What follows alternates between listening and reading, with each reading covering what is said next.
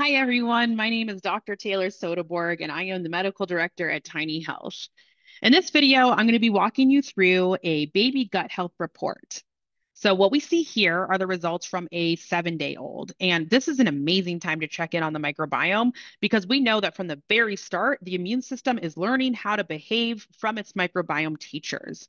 And it's important to check in early to make sure that the immune system is learning from the best teachers possible, meaning the right microbes. Tiny Health is a great way to check in on the microbiome because we use a technology called shotgun metagenomics. And while many tests prior to Tiny Health use something called PCR, Shotgun metagenomics is now the gold standard for microbiome research, meaning that you are getting the most up to date insights from the most recent research available because they're all using shotgun metagenomics. And with this, with this technology, we can tell you not only who is in the microbiome at very the most accurate levels, but we can also tell you the function of those microbes because we sequence their genetic information. So all of this means that we can not only tell you who's there, but we can also tell you how well they are doing their jobs. And it is a very simple test, just a quick, no mess swab, another benefit of shotgun metagenomics.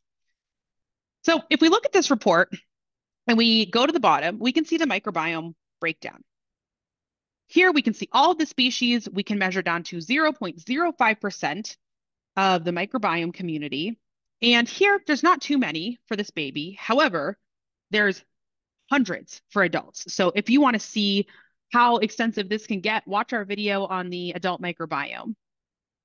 So a list of bacteria is fine and well, can be helpful to understand, but what do all these microbes actually mean? Well, Tiny Health has taken out the guesswork by breaking these down into meaningful categories. So let's review all of these different categories and insights so you can see all the information you can glean about the microbiome health from a baby gut health test.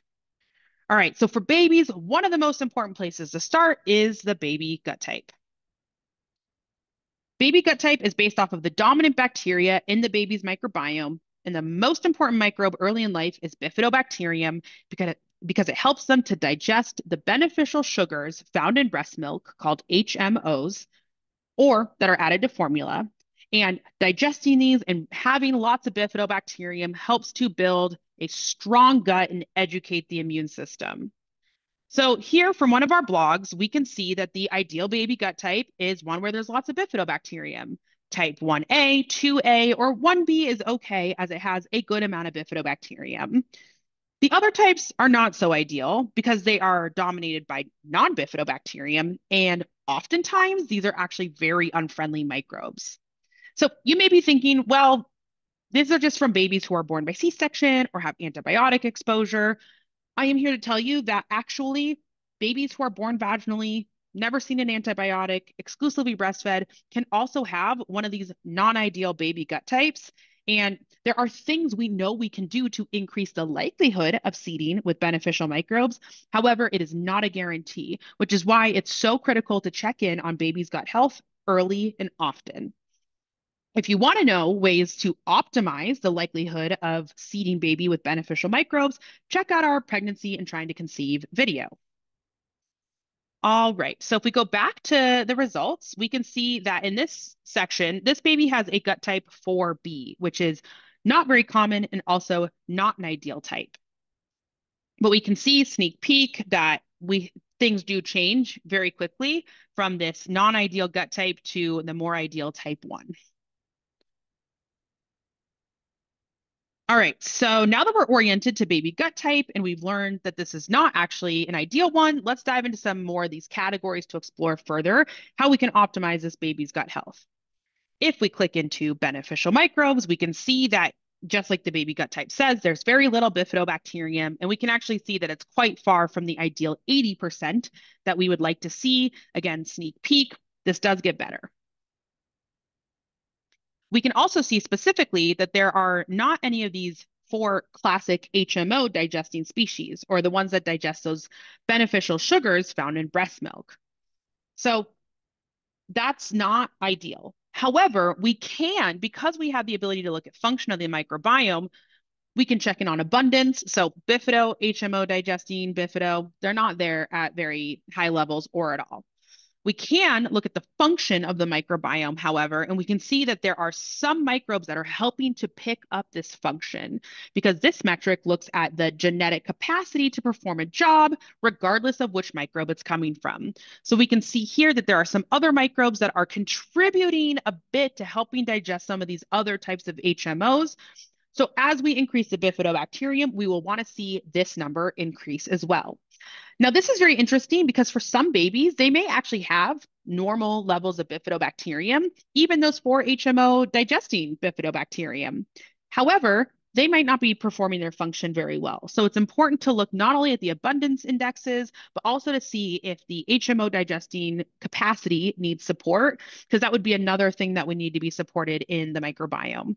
So again, with shotgun metagenomics, you can get the most detailed insights to provide the most specific and highest recommended actions for your baby's gut specifically.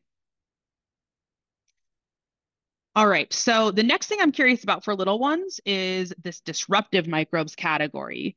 Now, probably needs to, doesn't need to be said, we don't want high levels of disruptive microbes. However, we do want a little. So why is this Enterobacteriaceae family flagged when it's at 0%? Well, this is one of the most important things, a big difference from babies to adults. And this is why tiny health tests are so critical because we are the only ones who have those ranges for babies. 80% bifidobacterium in an adult would be flagged as way too high. But Tiny Health is able to identify this is a baby and that's actually ideal. Same thing with Enterobacteriaceae. These are microbes that may be classically thought of as unfriendly. E. coli, Klebsiella, Salmonella, Citrobacter. However, we want just a little bit of them because these pro-inflammatory immune stimulatory microbes are going to teach the immune system how to behave. So you can see here the green zone is having just a little bit of them, but not too much. So this baby actually should have some of these ideally introduced to help train the immune system and reduce the likelihood of chronic inflammatory conditions later on. Unfortunately, they have none of those ideal immune stimulatory microbes, but we do see that there are two that are very elevated and likely contributing to some gut dysbiosis, disruption. This is what the gut looks like for a lot of kids who have gassiness, colic, a lot of food sensitivities through breast milk, because their gut is just not very happy. Also, in this section, we can see the C-section signature. So this brings us to our next type of insights. We talked about abundance insights, functional insights, Signature insights are interesting because they look at a collection of microbes, they look at their abundances and determine if it's consistent with a signature or not. We can weight different microbe abundances differently to give them more or less importance based on how much they contribute to the signature. So here we see that this is a microbiome that looks like a baby who was born by C-section. You'll notice I didn't say this is a baby born by C-section because you can have a C-section signature even if you were born vaginally. We, again, know ways that we can ideally optimize the likelihood of seeding with beneficial microbes, but it is not a guarantee. So we see here, this baby has a microbiome that is consistent with C-section delivery. And if this signature persists at one year, there's strong data showing that the likelihood to go on and develop asthma is significantly increased. But again, you can feel a little reassured. You can see that this went down significantly in the next sample just a month later. We have some of these other signatures for other conditions. We can see here that we have those for eczema, asthma, food allergy, and atopic march generally up until three years old. However, I do like to point out that Tiny Health is not a diagnostic test, but it can provide you with insights about your microbiome and suggestions on how to optimize gut health based on existing peer-reviewed scientific literature. All right. So the last metric that I want to point out for the baby gut, even though there's so many more we could dive into, is microbiome seeding. This is a very cool insight where if mom has a sample from within six months of delivery, we can highlight which microbes came from mom in their little one and which microbes are from the environment. How cool is that? So we can see here that the unfriendly microbes in Nico's gut are from the environment. And we can see that the ones transferred from, from mom, Maria, were largely variable. Again, watch our video on how to increase the likelihood of beneficial seeding. All right, now I don't want to leave you hanging for the metrics that we flagged as needing support or needing improvement. We will provide you with actions on how to improve the microbiome. So here we recommend Bifidobacterium probiotic, which can not only boost those beneficial microbes, but they're also very bossy and they can kick out the less ideal, disruptive, opportunistic pathogens and bring those down into ideal levels.